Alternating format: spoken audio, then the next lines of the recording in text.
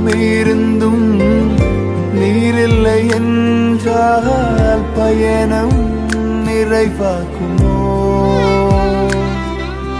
நீர் வாரும் என்னுடன் வாரும் எந்த விசுவாச ஓட்டத்தில்? உந்தனின் பிரசன்னமே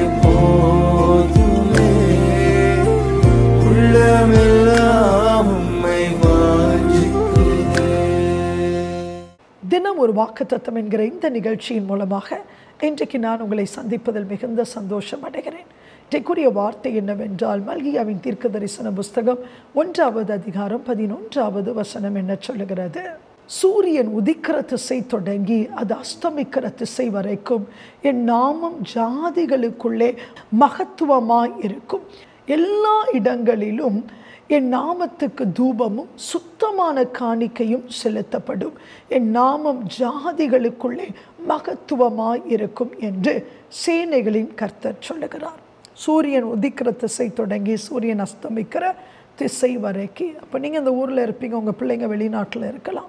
ஒருவேளை இன்றைக்கு ஒரு பாரம் இருக்கலாம் என் பிள்ளை ரட்சிக்கப்படல ஆண்டவரே அந்நிய தேசத்தில் எப்படி வாழ்கிறான்னு தெரியல இயேசுவை அறிந்து கொள்ளணும் அப்படின்னு சொல்லி ஒரு பாரத்தோடு கூட தூர இடத்துல இருக்கிற கணவனுக்காக மனைவிக்காக பிள்ளைகளுக்காக பிள்ளைகளின் பிள்ளைகளுக்காக ஜெபிக்கிற ஒரு மகளாக ஒரு மகனாக இன்றைக்கு இந்த நிகழ்ச்சியை பார்த்து கொண்டிருப்பீர்கள் என்றால் ஆண்டவர் சொல்லுகிறார் உங்கள் உள்ளத்தில் எப்படி ஆண்டவருடைய நாம மகிமை உள்ளதாக இருக்கிறதோ அப்படியே தூரத்தில் இருக்கிறவர்களும் ஜீவனுள்ள தேவனை துதிப்பதற்கு கர்த்தர் கிருபை கொடுக்கிறவராக இருக்கிறார். துதிப்பதற்கு மாத்திரமல்ல தொழுது கொள்வதற்கு மாத்திரமல்ல தங்களையே கொடுப்பதற்கு ஹலலோய ஜீவ பலியாய் கொடுப்பதற்கு காணிக்கை கொடுப்பதற்கு அவருடைய நாம மகத்துவம் உள்ளதென்று அறிந்து கொள்ளுவதற்கு ஆண்டவர் கிருபை கொடுக்கிறவராக இருக்கிறார்.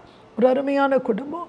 அவங்க இடத்துக்கு கேரல்ஸ் பாட வந்தால் கூட அந்த வீட்டில் இருக்கிற அந்த சகோதரன் பாருங்கள் மதிலை தாண்டி குதித்து இன்னொரு வீட்டுக்கு ஓடிடுவாராம் அப்படி ஆலயத்திலிருந்து வந்தவர்களுடைய முகத்தை பாராத அந்த சகோதரன் திருமணம் முடிந்து ஒரு புதிய தேசத்தில் போய் செட்டில் ஆயிட்டார். அந்த தேசத்தில் அவர் நொறுக்கப்பட்டார்.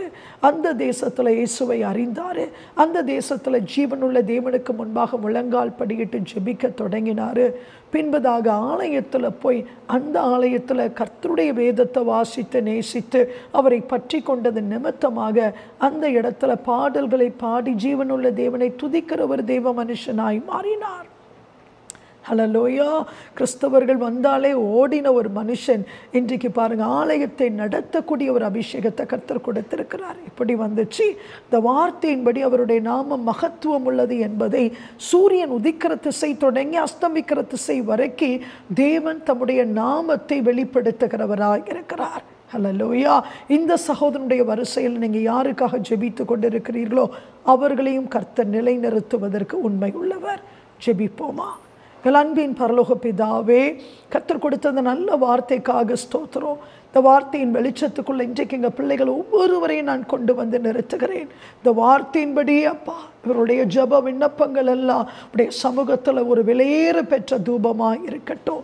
ஆசீர்வதிங்க. ஏசு கிறிஸ்துவின் நாமத்தில் பிதாவே ஆமேன். Have a plus day